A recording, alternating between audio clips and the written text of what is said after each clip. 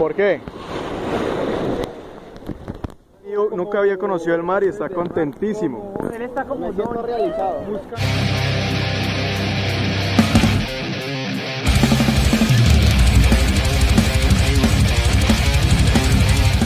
Hola, ¿qué tal amigos? ¿Cómo están? Espero que se encuentren súper bien en el día de hoy. Hoy vengo a traerles algo bastante interesante para ustedes y es hablarles un poquito sobre mi experiencia que tuve viajando mm, por más de mil kilómetros aquí en Colombia, desde Cali hasta Santa Marta. Yo sé que usted también le ha dado miedo eh, aventurarse a una experiencia como esta por la moto y se preguntan, bueno, mi moto, ah, es que no tengo una moto grande, apenas tengo una Boxer 100, tengo una Evo 125 y uno se empieza a crear limitantes realmente absurdos porque eso no es una limitante. Ha habido personas que han viajado más lejos, incluso desde Colombia hasta Argentina, en una C70, una C90, una C80. Han ido hasta en bicicleta, por ejemplo. Entonces, si ellos pudieron, nosotros también. He sentido miedo a que me accidente, que llegue alguien, un imprudente y me llegue por delante. Me ha dado miedo quedarme varado en medio de la nada, donde no tenga quien me pueda desbarar. todos esos factores son los que nos limitan y los que nos impiden aventurarnos a vivir experiencias que queremos que queremos experimentar. Así que les quiero compartir lo que yo viví para que ustedes se llenen de coraje y valentía y también lo hagan. Así que no te pierdas absolutamente nada y checa este video.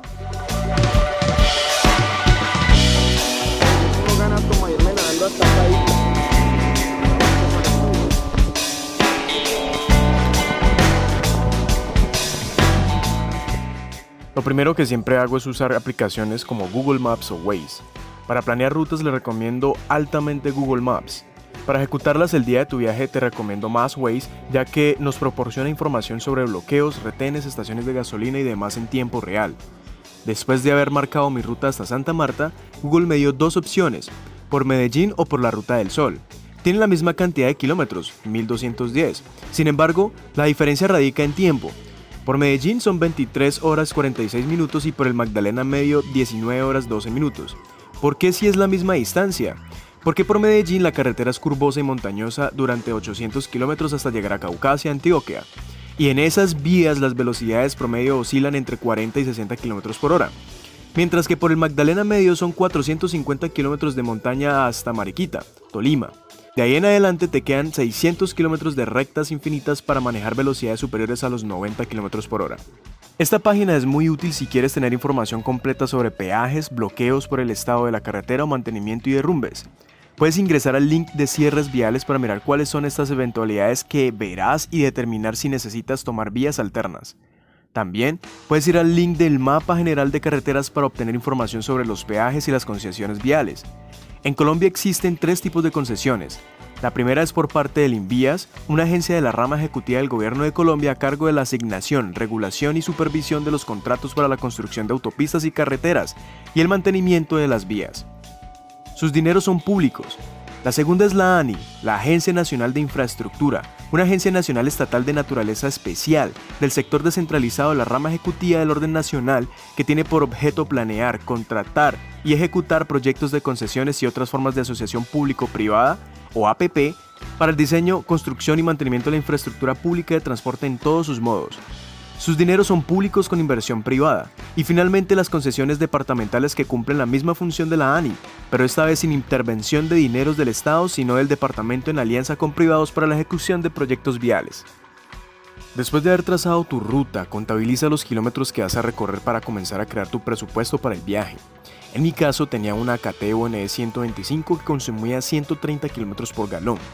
Dividí los 2.500 kilómetros del recorrido sumando los que posiblemente gastaría recorriendo en la ciudad y me dio un aproximado de 20 galones. En aquel entonces el galón de gasolina costaba 7.500. Los multiplico y obtengo el gasto de 145.000 pesos ida y venida. Booking es una excelente plataforma para buscar reservas en los mejores hoteles o buscar los precios más económicos de la industria hotelera. Puedes ir directamente a la página o descargar la app en Google Play. Aquí encontrarás precios desde los 15 mil pesos por noche en adelante. Si vas en tu propio vehículo, verifica que tu hotel tenga parqueadero, ya que a un amigo le pasó en Guatapé, Antioquia, que su hotel no tenía y le tocó buscar por fuera y pagar extra. Algunos de estos hoteles incluyen la alimentación. Ten en cuenta eso. En mi caso, yo iba a hospedarme en un hostal de mi compañera de tesis que ella misma administraba, y me costaba 25 mil por noche sin alimentación en Taganga. Ahora, proyectate cuántos días te vas a quedar en el lugar y así seguir armando tu presupuesto. Habiendo establecido previamente cuántos días te vas a quedar, dónde y si incluye alimentación o no, piensa en cuánto dinero se te puede ir en comidas. Ten en cuenta que quizás, aparte de los tres golpes fijos del día, te va a dar antojos. Lo que hice fue contar los días en los que iba a estar por fuera, que eran 8 contando desde los días en los que iba a estar en carretera. Tomé nota del valor del desayuno, con un tope de 10 mil pesos, del almuerzo unos 15 mil y de la cena unos 10 mil. Lo hice así con el objetivo de que quizás me sobre dinero. Ahora, recuerda que en áreas turísticas los precios son más costosos y un almuerzo puede costarte hasta 40 mil pesos. Todo depende del lugar donde estés. Haciendo cuentas, en un día podría gastarme 35 mil pesos. Si multiplico esos 35 mil por 8 días, obtengo 280 mil. Y a decir verdad, gasté menos que eso. Es importante que escribas toda esa información y la puedas compartir con tus amigos si vas acompañado. Eso les permitirá hacerse una idea del presupuesto y hacer un ahorro programado. Recuerda tomar pantallazos de la ruta y compartirlas también para que todos sepan por dónde ir y evitar que se pierdan el camino. Si vas en grupo, que la persona que lidera la caravana siempre vaya adelante con su GPS activado y que nadie los adelante, ya que cuando nosotros fuimos seis motos juntas, uno de nosotros se nos adelantó y terminó subiendo a Manizales cuando debíamos coger la variante para evitar pasar entre la ciudad. Ese detalle nos costó una hora de camino. También Aprovecha el visor de Street View de Google para que veas de antemano cómo será el paisaje, la carretera y los cruces.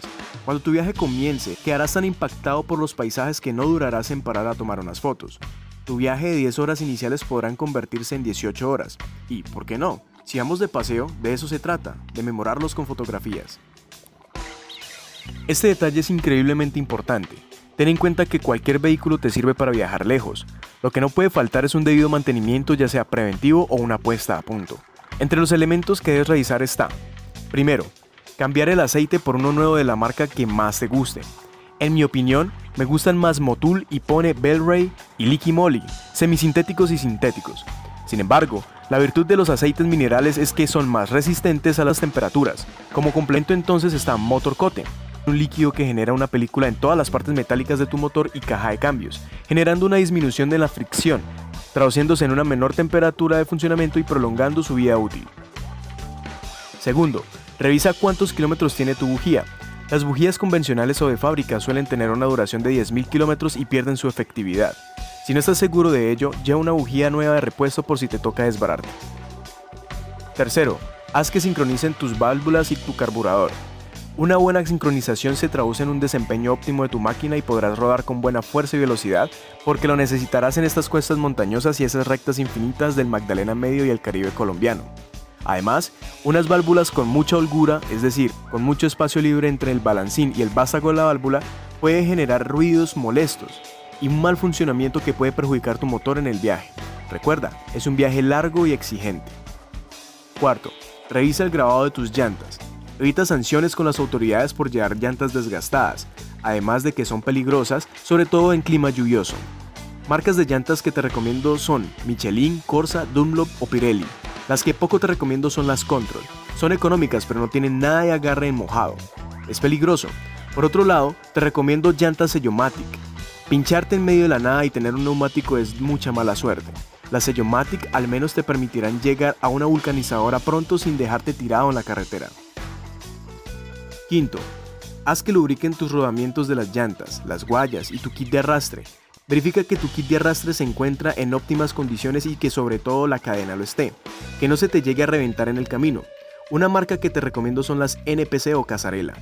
Sexto, verifica las luces de tu vehículo. Son esenciales en la noche, sobre todo a la altura del norte del departamento del Cesar, ya que las líneas de la carretera no son refractivas y las luces de los vehículos que vienen en sentido contrario minimizan la visibilidad, si puedes adquirir luces exploradoras, mejor. Por último, revisa las pastillas de tus frenos, que no estén tan gastadas. Si decides comprar unas nuevas, te recomiendo una marca que siempre uso, Ichiban. Son japonesas y económicas, su precio oscila a los 10 mil pesos. Planificar un viaje y querer que todo nos salga al pie de la letra es imposible. Pero eso que estamos haciendo nos ayudará a prevenir sucesos indeseables, quedarnos sin dinero, pincharnos o perdernos. Les recomiendo que llenen una caja de herramientas, una bujía de repuesto, un neumático de repuesto y una bomba de aire si tus llantas no son Sellomatic. Llévate un buen impermeable también. Siempre llueve en cualquier parte de la ruta. Llévate un buen saco para abrigarte y unos guantes. Cuando subas por picos muy altos sentirás mucho frío en las piernas, porque mientras vas abrigado en el torso, solo llevas un jean puesto quizás. A veces, para evitar eso, haciendo la carretera con el impermeable puesto si veo que el clima va a empeorar, y así me mantengo más abrigado. Esté pendiente de las curvas, no se sabe quién pueda estar adelantando en ellas. Adelanta a las tractomulas con mucho cuidado. La ruta del sol está llena de vehículos pesados, mientras que la vía Manizales Mariquita es muy poco. Si vas por Medellín, verás mucho tráfico pesado. Ten cuidado. Trata de pasar la noche en Puerto Araujo. Es la mitad del camino y así no tendrás que hacer tantos kilómetros al otro día. En Medellín, trata de hacerlo por los lados de Yarumal, Antioquia. Entre más conduzcas el primer día, mucho mejor. Hay personas que han llegado hasta San Alberto Cesar o hasta Caucasia, Antioquia. En el primer día desde Cali. Si tus energías te lo permiten, adelante. Mucha suerte y disfruta tu viaje al máximo.